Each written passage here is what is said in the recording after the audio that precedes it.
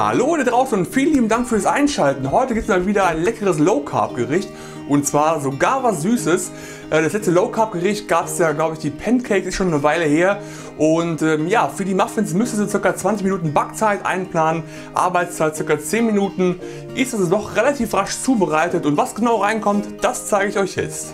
In eine große Schüssel gebe ich die vier Eier zusammen mit dem Quark und anschließend wird alles gut miteinander vermischt. Ein normaler Schneebesen reicht dazu vollkommen aus. Jetzt gebe ich etwas Backpulver,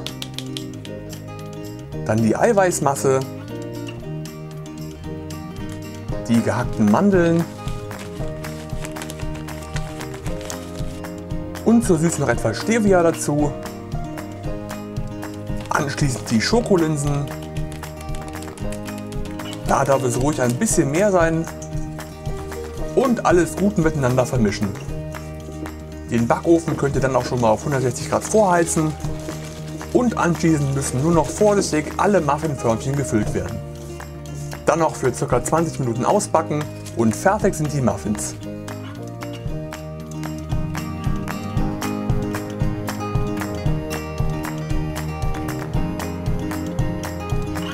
Anschließend die Muffins noch etwas abkühlen lassen und dann kann direkt probiert werden.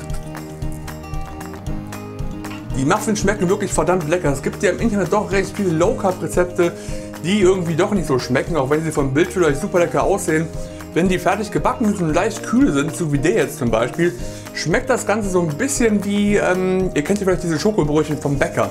So ähnlich könnt ihr euch das vorstellen. Einziger Nachteil bei dem Rezept ist, ihr benutzt halt Eiweißpulver und Mandeln. Und das Eiweißpulver ist im Vergleich, wenn man jetzt das Mehl betrachtet, doch schon relativ teuer. Mich würde es freuen, wenn ihr das Rezept nachmachen würdet. Postet auch die Bilder dazu auf Instagram und Facebook, das wäre natürlich super. Und gebt mir einen Daumen nach oben, wenn euch das Video gefallen hat. Ansonsten, die Zutaten sind wie immer unten in der Infobox nochmal aufgelistet.